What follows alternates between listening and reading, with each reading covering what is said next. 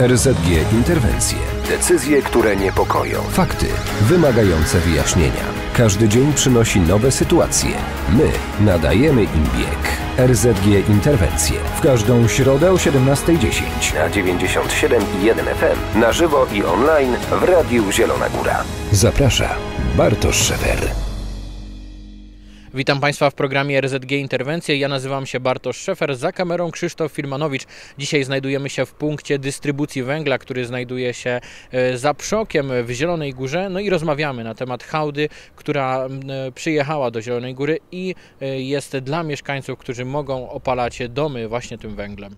Z nami jest prezydent Janusz Kubicki, prezydent Zielonej Góry. No właśnie, węgiel dotarł do Zielonej Góry, widzimy tą hałdę. Ile tego węgla jest i czy ten węgiel to jest odpowiedź na potrzeby mieszkańców. E, ten węgiel oczywiście jest dla mieszkańców, nie dla miasta, bo miasto węgla nie potrzebuje.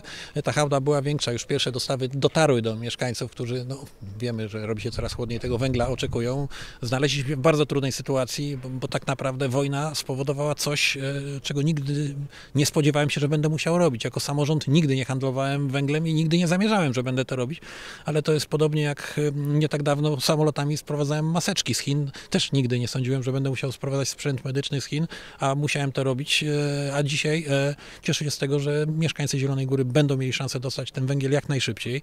Sprzedajemy go po 1800 zł, bo, bo, bo wiemy dokładnie, że ten węgiel dla wielu jest e, ciężarem dużym, więc stąd dodatek węglowy, stąd niska cena z naszej strony, aby jak najszybciej każdemu w domu było ciepło, bo, bo te chłodne dni się zbliżają. W przeciągu dwóch dni ponad 70 rodzin dostanie już bezpośrednio węgiel do, do, do, do swoich domów. Chcemy jak najszybciej zaopatrzyć mieszkańców mieszkańców miasta. Chcemy pomóc też pozostałym gminom województwa lubuskiego, tym mniejszym, tworząc punkt przeładunkowy w Zielonej Górze, żeby jak najszybciej również do nich dotarł ten węgiel, więc, więc no, działamy.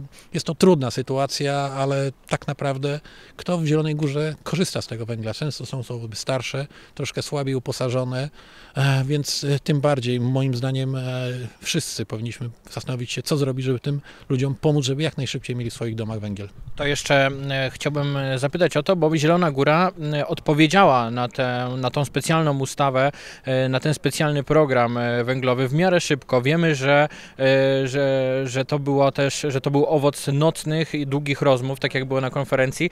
No właśnie, jak, jak wyglądały te rozmowy? To, to szybko wszystko zostało załatwione?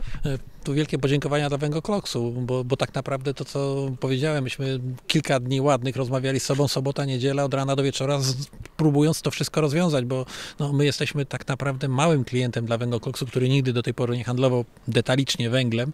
E, w tej chwili, biorąc pod uwagę sytuację wojenną, to co się wydarzyło, e, rozpoczął taką tą dystrybucję, więc wielkie podziękowania, bo, bo to wszystko jednak również w papierach musi być dobrze zrobione i udało się to, e, więc dla chcącego nic trudnego, tak jak mówię, kiedyś sprowadziliśmy maseczki z Chin i też samoloty, etc., etc., udało się to zrobić, tak samo jest z węglem dzisiaj. Uważam, że to jest też nasz obowiązek pomaganie ludziom, którzy tej pomocy w tej chwili oczekują, czekają na ten węgiel, więc to jest odpowiedź e, na to. Ja nie chcę tutaj e, wielkiej polityki, bo to nie chodzi o wielką politykę, to chodzi o jedność w tej trudnej sytuacji. Znaleźliśmy się w naprawdę gigantycznie trudnej sytuacji jako e, polskie społeczeństwo, więc potrzeba nam jedności, potrzeba zrozumienia, potrzeba współpracy. Ja e, nie jestem w stanie powiedzieć komuś, kto ma 80 lat i pyta się mnie, panie prezydencie, co ja mam zrobić, bo nie mam węgla. Powiedzieć, to nie moje zadanie. Ja uważam, że tym ludziom po prostu trzeba pomóc. Panie prezydencie, ostatnie pytanie. Jak e, mieszkańcy mogą ten węgiel uzyskać? E, mieszkańcy składali zamówienia, Zakład Gospodarki Komunalnej te zamówienia, e, że tak powiem, ma zebrane, przygotowywane i w tej chwili no, już jesteśmy na tym etapie, że rozwozimy ten węgiel do poszczególnych.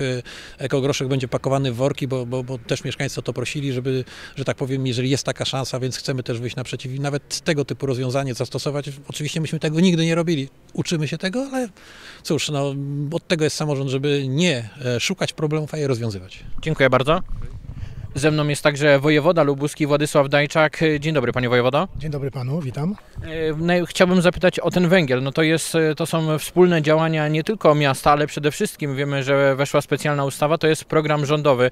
To jest odpowiedź na, na ten kryzys energetyczny, który nas spotkał w związku z wojną na Ukrainie? Oczywiście, że tak. O tym mówił pan premier Mateusz Morawiecki, mówi polski rząd, że ta sytuacja wywołana y, tą agresją Putina na, na Ukrainę y, spowodowała też ten kryzys y, związany z inflacją, z cenami surowców energetycznych, prądu. W związku z tym chcemy pomóc i pamiętać o tych ludziach, którzy mogą mieć z tym problem, bo przecież tak jak dzisiaj pan prezydent Zielonej Góry powiedział w swoim wystąpieniu, to dotyczy przede wszystkim ludzi starszych, ludzi, którzy korzystają jeszcze z pieców, ludzi, którzy może nie są tak dobrze sytuowani finansowo, w związku z tym ten program wsparcia. Ja się bardzo cieszę, że w województwie lubuskim wszystkie gminy, wszystkie gminy, które zadeklarowały, że wezmą udział w tym programie, że będą współdziałały z administracją rządową w tym procesie redystrybucji węgla, tak aktywnie w tym uczestniczą. Umowy są podpisywane. Dzisiaj pan prezes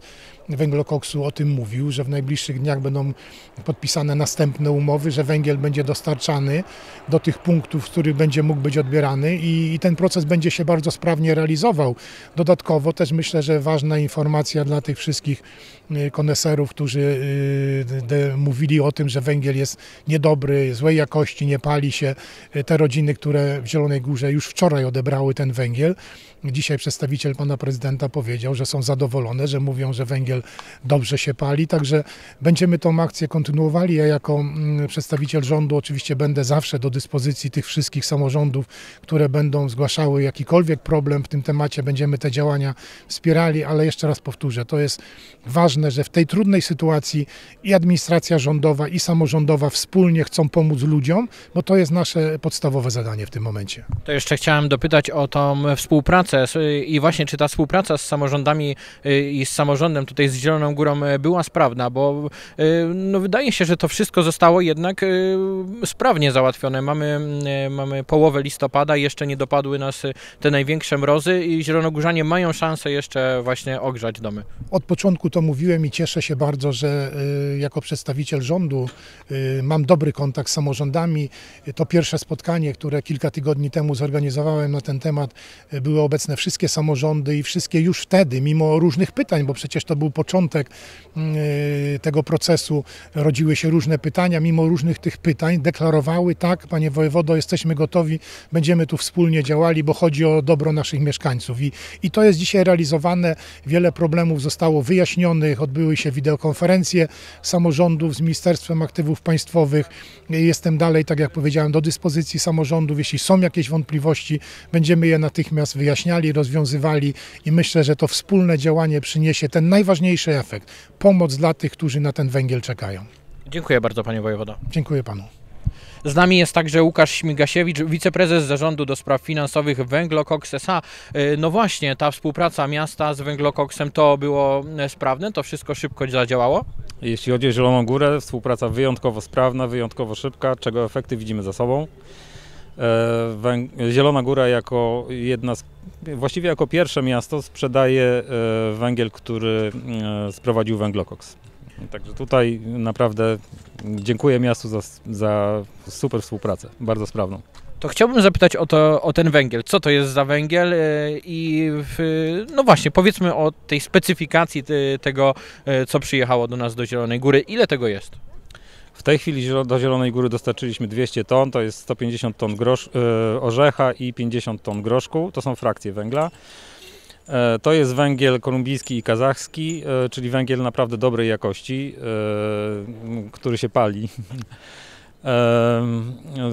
Parametry jakościowe tego węgla są bardzo zbliżone do węgla polskiego. Te najistotniejsze dla użytkowników, czyli spiekalność i ilość popiołu właśnie są bardzo zbliżone do tego, co można kupić e, na polskich kopalniach. To chciałbym też zapytać o to, to dla Was też taka sprzedaż detaliczna, rozumiem, jest nowością. E, tak, Węglokoks dotychczas e, zajmował się eksportem węgla w naprawdę dużych ilościach. Kontraktowaliśmy dziesiątki, setki tysięcy ton. I rzeczywiście dla nas, e, z naszego punktu widzenia, ta sprzedaż, którą teraz realizujemy, to jest sprzedaż tak de facto detaliczna, mimo że sprzedajemy tam po kilkadziesiąt ton do gmin. Ale tak z naszego punktu widzenia to wygląda to w takim razie chciałbym zapytać, co w takim razie jest wyzwaniem e, dla Was e, e, przy, przy tego typu mm, no, transakcjach, przy tego typu działaniach związanych właśnie z samorządami, to, to, to, gdzie są największe trudności i czy właśnie dostarczenie takiego węgla na przykład do Zielonej Góry to jest jakieś inne wyzwanie niż zwykle? Znaczy na pewno wyzwania są różne od tych, zupełnie się różnią od tych, który, z którymi mierzyliśmy się dotychczas. Natomiast e, trudności, no i nie chciałbym się skupiać na trudnościach. Wszyscy jesteśmy w tym procesie e, pierwszy raz, e, uczymy się go, e, ale idziemy do przodu, czego przykład mamy za sobą. Kontraktujemy po kolei wszystkie gminy. Chcemy do końca przyszłego tygodnia zakontraktować około 300 gmin. Także idziemy do przodu, dostarczamy węgiel. Myślę, że i, i absolutnie nie ma takiej możliwości, żeby węgla w tej zimy zabrakło. Dziękuję serdecznie. Dziękuję. Na koniec jest z nami także Krzysztof Sikora, prezes ZGK. E, Dzień dobry. Dzień dobry, kłaniam się. E, No właśnie, przyjechał do nas węgiel, jest już e, w Zielonej Górze i jego dystrybucja także się już rozpoczęła, prawda? Tak jest, mamy już e, pierwsze 200 ton z 1000 zamówionego łącznie. Od wczoraj, od wtorku rozpoczęliśmy dystrybucję do zielonogórskich rodzin. 6 rodzin, 5 rodzin już zostało obsłużonych. Od jutra kolejne 60 rodzin będzie już miało węgiel u siebie na podwórku. Wcześniej zielonogórzanie, rozumiem, zgłaszali się po ten węgiel, a jeszcze wracając do tego, te rodziny są zadowolone, Z- bo z takie, takie informacje przyszły, że są zadowolone z, z jakości tego węgla. Mamy nawet informację od jednej rodziny, która już wczoraj tym węglem rozpaliła, więc to też pokazuje, że naprawdę czekali na ten węgiel do ostatniej chwili. Ta pogoda się dzisiaj dosyć mocno zmieniła, więc e, mamy ten sygnał, że są zadowoleni z tego, jak ten węgiel się pali. Jest to węgiel kazachstański o kaloryczności niemalże identycznej jak kaloryczność węgla rosyjskiego czy węgla polskiego. W związku z powyższym nie powinno być najmniejszego kłopotu ze spalaniem tego węgla. Jest to też najlepszy węgiel, który jest importowany w tej chwili do Polski, więc tym bardziej się cieszymy, że akurat ten węgiel z węglokoksu trafił do Zielonej Góry. E, Chciałbym też zapytać o tą nowość, no bo ZGK chyba nigdy nie, nie, nie, no nie zajmowała się handlem węglem, a tutaj macie składowisko zaraz za Przokiem. E, No właśnie, powiedzmy o tym, jak to, jak to się wszystko złożyło na to, że jesteśmy teraz tutaj obok tej hałdy. Chodzą już żarty, że 4 grudnia będziemy tutaj y, robili paradę z okazji święta Barburki, ale oczywiście nie chcemy być podmiotem handlującym y, i kolportującym węgiel. Jak się życie potoczy, tego nie wiemy. Jesteśmy jako spółka do tego, żeby spełniać te potrzeby. Te ilości mieszkańców, którzy się do nas zgłaszają, jednak pokazują, że w Zielonej Górze ten problem jest i dlatego, jeżeli się trzeba tym zająć, jeżeli trzeba się przebranżowić na chwilę, na miesiąc, na pół roku czy na trzy lata, to oczywiście to robimy. Więc no jest to dla nas nowe zadanie, ale mm, nasza logistyka tutaj tego miejsca wskazuje, że praktycznie bez większych nakładów i bez większych kosztów i kłopotów e, byliśmy w stanie to realizować. To na koniec chciałbym zapytać jeszcze o ten węgiel, to jest i orzech, i ekogroszek. No właśnie, to rozumiem, że mieszkańcy, którzy opalają węglem mają e, jakby wszelkie możliwości, tak?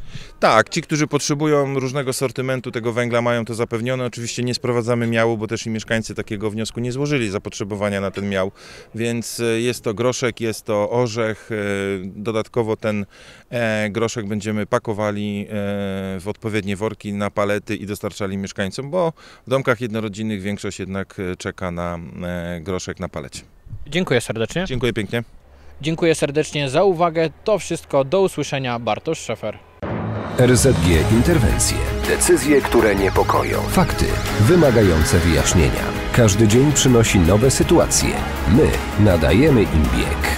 RZG Interwencje. W każdą środę o 17.10 na 97,1 FM. Na żywo i online w Radiu Zielona Góra. Zaprasza Bartosz Szefer.